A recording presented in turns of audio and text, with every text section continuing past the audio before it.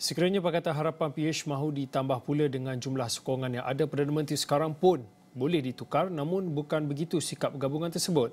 Presiden Parti Amanah Negara Amanah Muhammad Sabu berkata selepas PH menandatangani memorandum persefahaman MOU bersama kerajaan, mereka akan terus menghormatinya.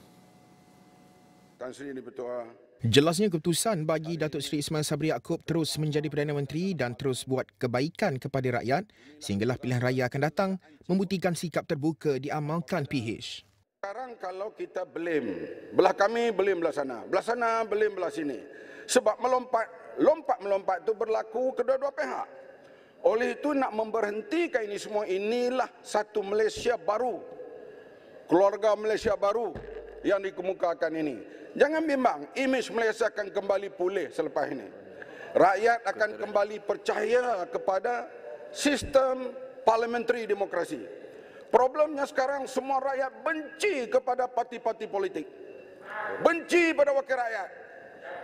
Dan ini yang kita lihat berlaku, mereka enggan keluar mengundi. Dan saya yakin selepas daripada pinaan ini, rakyat akan kembali yakin terhadap sistem parliamentary demokrasi.